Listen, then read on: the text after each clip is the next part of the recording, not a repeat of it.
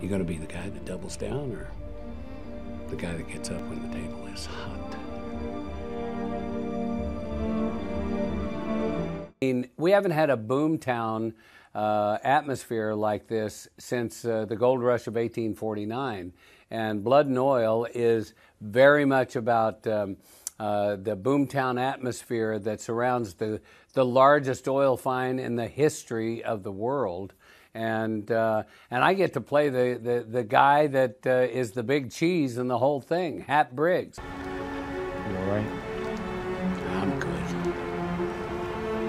The '80s. I can survive this. Doing research and, and building a character that's it's kind of like the, a game of detective, you know, where you you uncover all of the the the, the the uh, juicy emotional and physical and uh, and psychological aspects of the character, and uh, and then the the great joy is is allowing yourself to after you've done all of that work, allowing yourself to just become uh, uh, the the the sum total of all of that research without being attached to the outcome, and uh, that's that that that's that's happening for me these days, and it's wonderful.